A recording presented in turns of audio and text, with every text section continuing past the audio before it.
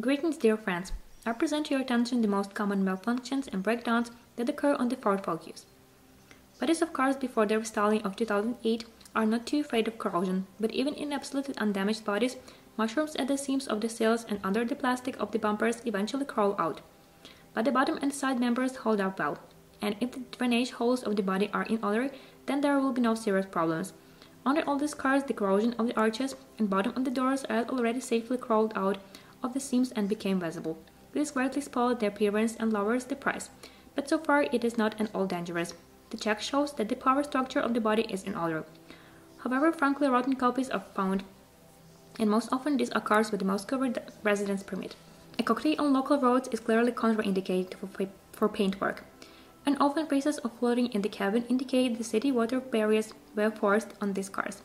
Apparently, the internal cavities of the body do not have good anti-corrosion protection.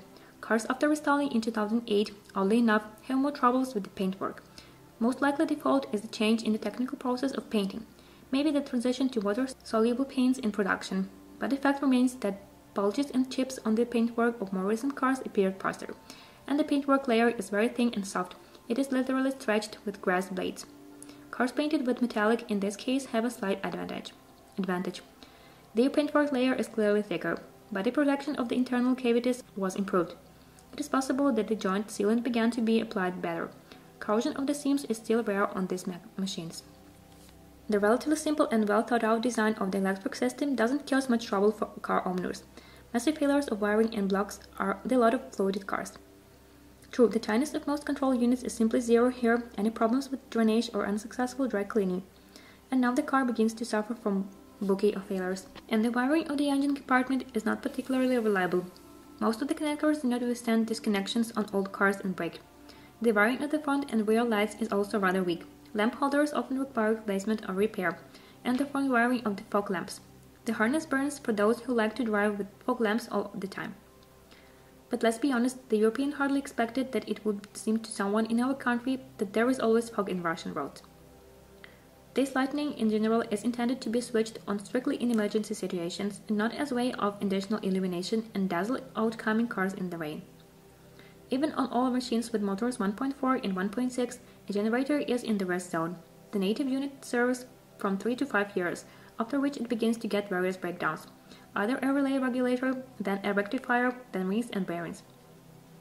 In general, its resource is small, but it is convenient to change it. Everything is in the most conspicuous place. On engines 1.8 and 2.0, generator is removed out of sight and doesn't cause trouble, but on them there is an EGUR, a hydraulic booster with an electric pump drive. On other cars, the wiring to the drive is very vulnerable. Here, larger currents and the slice problems with contacts cause burnout of all poorly connected connectors. If your wiring is already damaged, there are no clips on the connectors, I recommend buying new chips and installing them. A fire in the engine compartment is an extremely unpleasant thing, you know. There is MacPherson in front and quite solid. The suspension resource usually raises no objections. The mileage of most elements is under 100,000. With runs over 60-70,000, the first ones usually require replacement of the rear silent blocks, of the L-shaped lever and sometimes support bearings. This rise in bushings of stabilizers live half as much, but they are cheap and are consumables. One off-road trip, and now they are ready for replacement. Also, wheel bearings here are by no means an example of reliability. They are afraid of moisture and side impact. But also like to force puddles up to the hub depths and drive sideways, the hubs become a consumable item. In other ideal conditions, the resource is even less than that of the suspensions. The first sign of fatigue are shown by the node. It runs of 70-80,000 and by 100 150 it is usually already making a lot of noise. The rear multi-link is quite sturdy and even the components are not too expensive. The silent blocks of the wishbone are traditionally the first to wear out. This happens with runs of 80 or 50 70,000 kilometers. If you change the lever and the rest of the components can live as long. This is of course if you take care of suspension.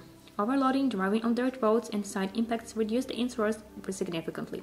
For those who like to save money, there is good news.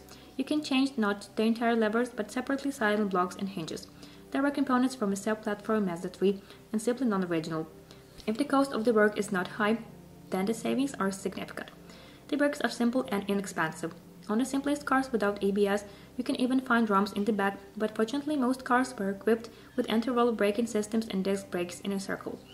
On the simplest cars without ABS, you can find even drums in the back, but fortunately most cars were equipped with anti-lock braking systems and disc brakes in a circle, and the restyled cars also with the EZP system. The resource of all notes is decent, the system doesn't cause any special problems, but on the cars of the first releases, problems with corrosion of brake pipes are already beginning. Here you need to be careful and replace the lines in time. The steering was also not noted among the problematic units. Relatively often power steering lines leak on machines with 1.4, 1.6 motors, high pressure pipes burst, and on machines with 1.8 and 2.0 motors, the resource of the EGR pump is limited and there are problems with wiring. But on most cars, these nodes still do not cause trouble, and the steering rack is reliable and not prone to leaks when plate knocks appear. Cars on the RS and ST series have significant changes both in terms of brakes and suspension.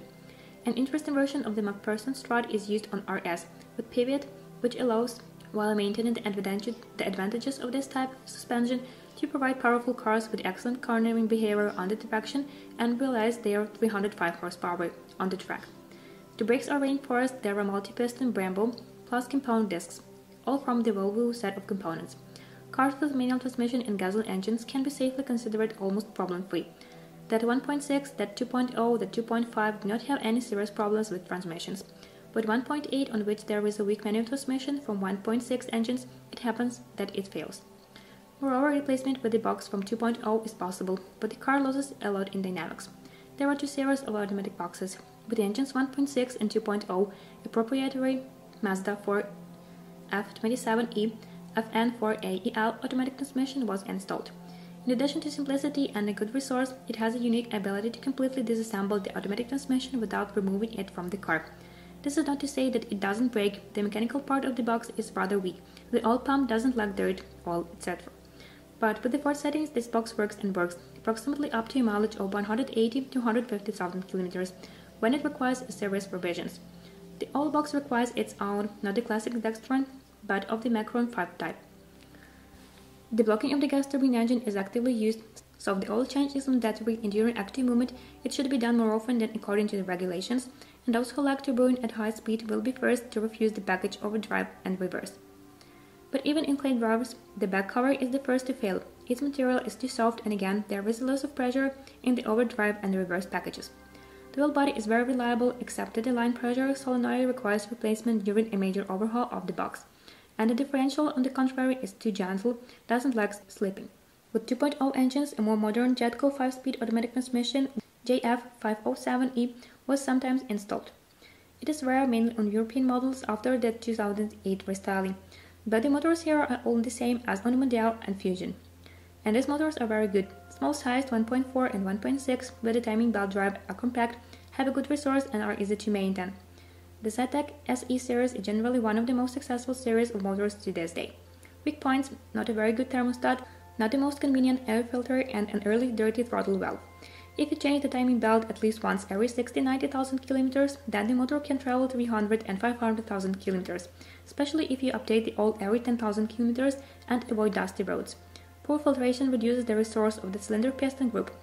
Also, the catalyst here often doesn't live up to 200,000 kilometers and the engine is sensitive to gasoline. As a rule, when changing gas stations, the check engine light comes on. These are the features of the engine control system. Changing the calorific failure of the fuel usually leads to a lambda error.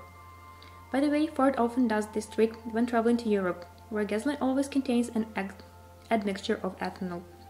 You shouldn't be afraid of a mistake. 1.6 per 115 horsepower engine has adjustable timing and a full set of problems in this part. Phase shifters begin to knock at insufficient and excessive oil pressure. The valves get dirty, the oil pressure of these motors is slightly lower, and problems with the crankshaft liners appear earlier, especially with low viscosity oils. Such a motor is recommended to have regular maintenance by officials, constant listening, and oils with a viscosity of no less than SAE 40. And at the same time, it cannot be said that the engines pulls much better than the usual 1.6 with 101 horsepower. The extra 14 horses are clearly lost somewhere, but the maintenance cost and the number of possible jams are increasing. Engines 1.8 and 2.0 are also old acquaintances. This is the Mazda L series, the same as on the Mondial. Reliable, resourceful, with a good timing chain, really almost eternal for the owner, usually more than 200,000 kilometers. The motors are keyless, sensitive to the quality of work and the use of torque wrenches during assembly. They do not have marks and are extremely difficult to repair in the field.